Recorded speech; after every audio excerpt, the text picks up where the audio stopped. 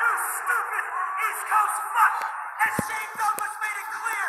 All matches from this point on must have contracts.